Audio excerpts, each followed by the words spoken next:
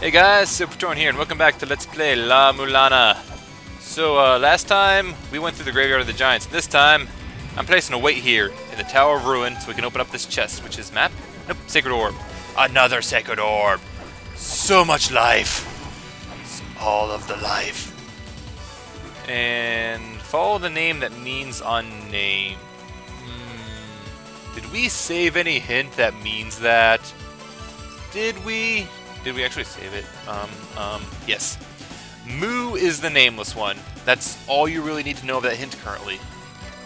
Follow the name that means unnamed. Hmm.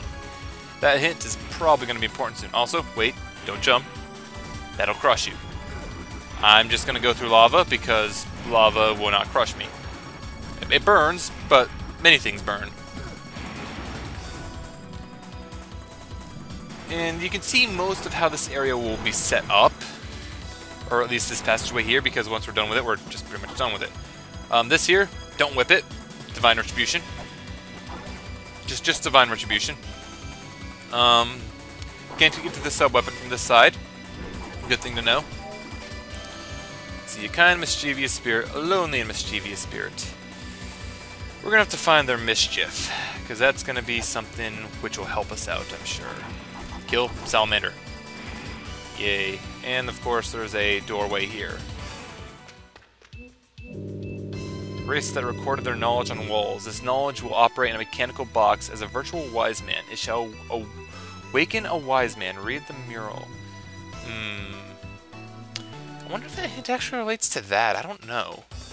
But, um, yeah, there's some real technological advanced things here. I mean, this is, this is Tech Place. It's all Tech Place.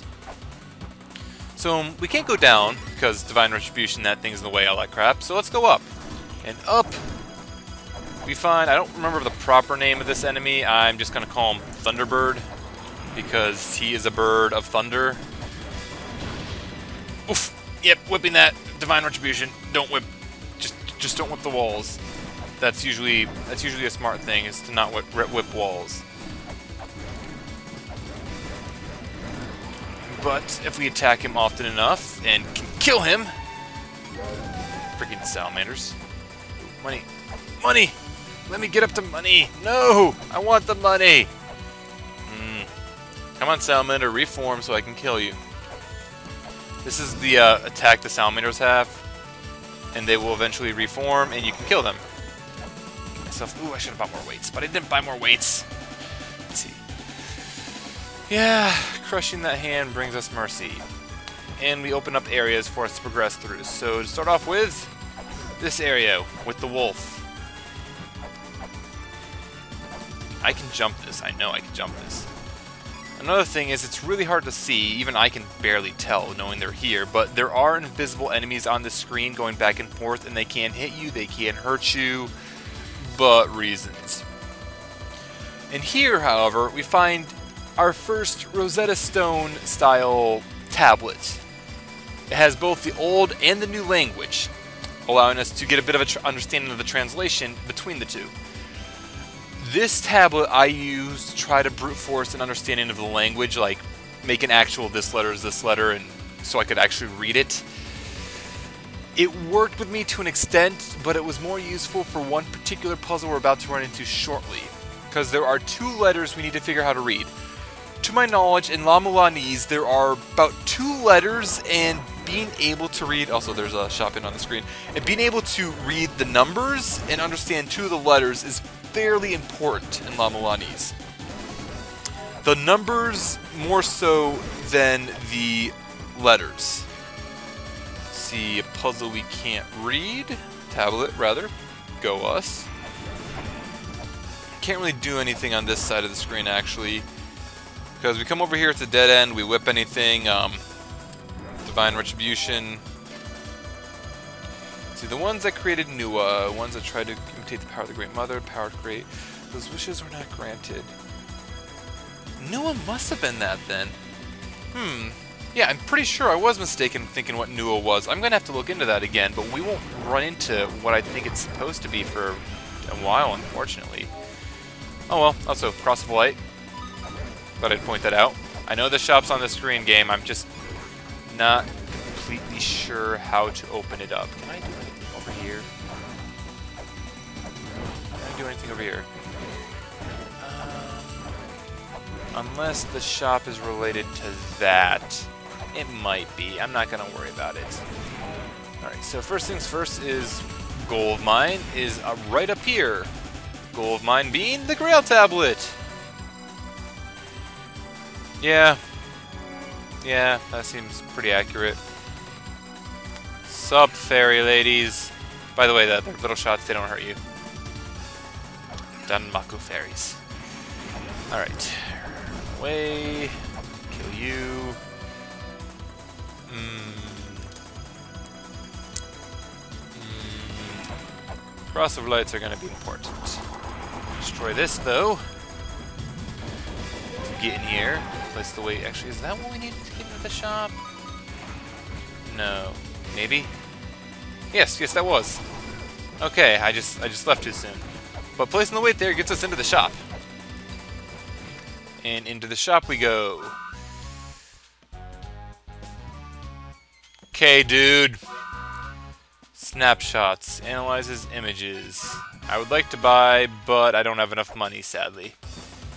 Uh, that's going to be something I want to my hands on quickly enough. For now, drop down here without getting crushed. And another area to explore. Come on. Alright. Let's see. Skanda, large clay doll, holds the golden key, the score, source of the skies. He's a mini-boss. We'll, we'll deal with him soon enough. Now then, down here, is there a good hint for this, think there is. But there's a breakable wall here. Break that and we come into a new area. This area is fairly important. So you remember the other hints, we were told to follow the one the name that means nameless. We know that Mu is the nameless one. So we'd have to check to see what his name means. Now the easiest way to do this would actually be to go to the tablet where we got the hint, where we got this hint right here. And then what we would want to do is turn off the reader so that you can just read it in the old language and see what the glyphs are. First time I did this, like I said, I brute forced it. I had a limited understanding of how to read La and I figured out what M and U was. M, U. Doing that will open up the chest and give us the Ankh Jewel. Now then, if we do this wrong, we hit one of the wrong ones, those platforms open up and they would drop us down to a lower area, like where the lava is and everything. Uh, however, first things first is I would like to grab something here, so I'm going to grab onto walls, and invisible platform to just jump walk through. And a pedestal to put a thing on. I'm pretty sure the weight there will have triggered the uh, opening of this. Pretty sure. And with this, we get the Earth Spear. The Earth Spear, I believe, is required to progress, because we still can't get through this area here. I'm gonna put the freaking knife on. We still can't get through this area here. However, that little goblin head thing looks pretty suspicious. The Earth Spear attacks straight down. And if we hit it enough to drop it, the lock on this will disappear and we can push this block out of the way. Yes. Which will allow us progress to enter the lower area here. And you see there's a front side, or there's a backside gate here which we can enter. And a message we can't read. I tried to brute force this one. I think I vaguely remember what that message is referring to once I actually read it with the proper translation, but we'll figure that out later. For now, we can see that the Infernal Cavern is the flip side. Something just went up in the background. I wasn't paying attention to what it was again! Ah! But we can see that the uh, Tower of Ruin is the flip side to the Infernal Cavern. First things first, Elder, Ah, yes, he got a hold of the people who made the glyph, the glyph reader. If we find a tablet which has the old reading and the new reading, the Rosetta Stones tablets, like we've already ran into the one, like I said, then we'll be able to figure out a bit more of the translation. And if we get like four scriptures that have this double writing, we'll be able to figure out how to read the old ones. Now then, down here, this room, you will understand why I hate this room. You will understand. Not right away. That, that, that understanding will come in time, but you will understand. Place that down. And we open up this passageway here. That's a trapdoor, as I recall very well. Freaking trapdoor. But we are back here in the proper area of the Infernal Cavern. And we see we've solved a puzzle. This puzzle relates actually to this tablet right up here, which I will go up to read. The more to the land that meets the eye, it's a pivotal location. Tread a different path and return to this land again. If you look at this and how it's set up, you can see a great deal to the way it's set up. The one, the area more to the left looks to be the Infernal Cavern in its map. The one to the right, you can see an Ankh gem in a little tower icon on the bottom. That would be the Tower of Ruin. If we re-enter the Infernal Cavern from the Tower of Ruin, enter through the uh, backside gate there, you'll get that little pedestal to appear in this room. Which makes the um, Tower of Ruin and the Infernal Cavern a anomaly. Like it fall, it goes against tradition of you need to destroy the uh, boss to unlock the backside gate and everything. But that rule you would see typically, and I'm not that worried that I'm low on health because I'm not that worried about it. Placing that there will do something, however, and if we warp out and back, and I should get a heal pretty freaking quickly, you'll see exactly what that means. Heal? No. Get a heal off you? No. Just want to heal. I will jump over here to get my heal. Good, got my heal. Alright, we have 224 health max. Destroy that, jump over it. Jump into this area. And now for why I hate this room. It's a boss room. This boss... Ugh.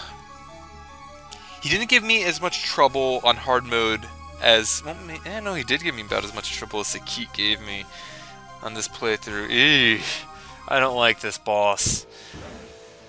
Uh, how much more can we do before we actually deal with that ball? Ooh, quite a bit actually. Quite a bit. Mmm. And we have a decent bit of time left in the video. Do we? Yeah, I think we do. A little bit.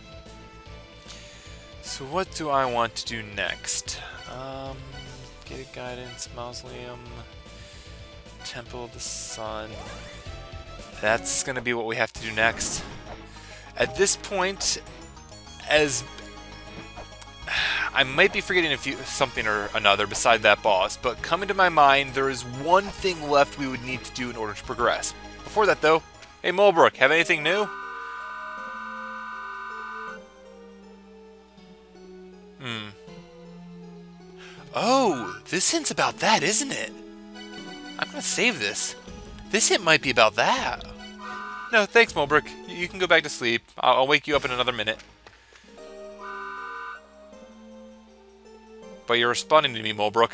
You have to be awake. Besides, I just walked out and back in. You can't honestly tell me you fall asleep already.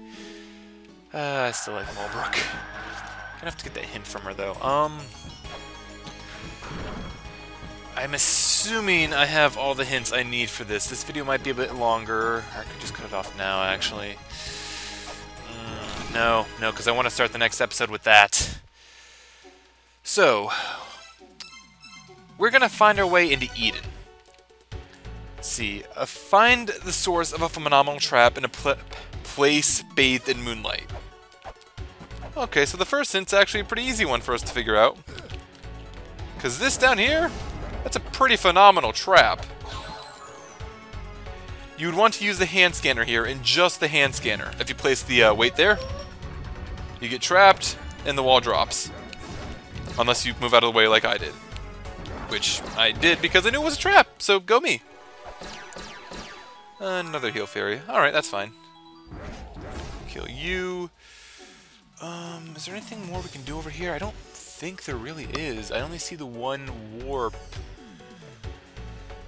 Unless we can open that up from this side, which I'll have to check, but... Jump. Nope, I can't make it. I need the actual... No. I'll be able to be able to get on it now. Alright, so that is the first of many things we will need to scan in order to get into Eden. I say many, but there's actually four. Now you guys have already know the one hint which I've drawn a liking to and I've pointed out a few times, like the Dancing Man. We already know he's over here. Alright, so we'll just ride this right over to the Dancing Man. He's dancing! Look at him dancing. Read that as well. Something interesting happens. And now we want to go back over more towards this upper area of this temple. But first things first, let's read our next hints. So we have two more. Seek the place where they point towards. And uh, there's the dancing man. Within the hands of the four who reside in the palace bathed in the moonlight. Hmm, within the hands of the four. Well, that's another one. And that'll be three of the four hints we need to get into Eden. Alright, so... With that done, we are almost prepared to properly enter Eden. And going up here, you can see that there are a bunch more pedestals open. I'm... I'm gonna need more weights before I do this, unfortunately, but oh well. I can go buy a bunch of weights because I have a ton of money now. However, there are four boxes before the final chest, and we need to have one more. Can I even get up there with the number of... I think I can. I think I can. So, we are going to go... No, I can't do anything. Yeah, I think Eden is what has to be done next. And that's fine by me, because I like Eden. This, of course, is another Eden hint. Open the five boxes, mind thy manners, and open them starting with the one closest. So, that's another... Hmm. I think I see. I'm pretty sure these pedestals will raise... No, can't be. Hmm, I don't know. The ped like that part of the puzzle I'm not that worried about. You can force it if all else fails. For now, however, that's all of our weights, so hopefully I don't screw this up. Can't read that.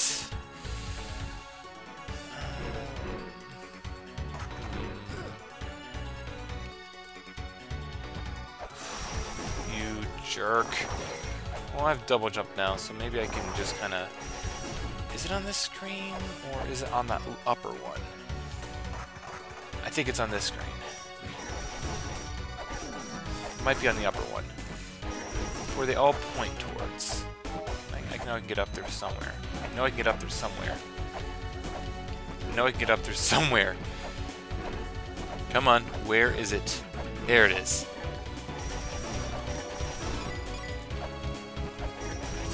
Right, the final hint is either on this screen or the one above it, I believe. this screen or the one above it. And it's looking to be the one above it. So I'll see you guys in a moment when I get back up top.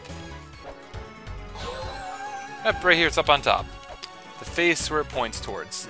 And that is our last Eden hint, which will give us proper entrance to Eden. Or rather, it'll open up the last pedestal so we can get to what we need for the proper entrance to Eden. Um, I think this one's closest. Now, how is it for um, here? Nope, not that one. Alright, so in this one... Alright, I see how this works. You need to open those four chests, starting with the one closest to the treasure chest. So that's going to be this one. And then the last two, which was easy. If you were to come here after getting each hint, you would see what order they were placed. Oh, I did it backwards, I think. Yeah, I, I probably did it backwards. This is only part of the reason why I bought a crap ton of weights. So I think it's going to be this, this, then it's going to be down here. Yep, I did it backwards. Alright. And with that, this will open up and give us the Fruit of Eden. Oh, Eden. Eden is... I like Eden. I like and hate Eden. I've said this a few times, and you're about to see why I both love and hate Eden. You're about to see why. So guys, this has been SilverPraetorian with Let's Play La Mulana. We went through the Infernal Caverns backside, which would be the Tower of Ruin. We found the boss for the combined areas, got our way, are capable of fighting said boss, but decided to move on in order to go somewhere new. And in this case, we are prepared to head into Eden. So next time, guys, we're going to go into Eden, and I'm going to show you just why I feel the way I do about it.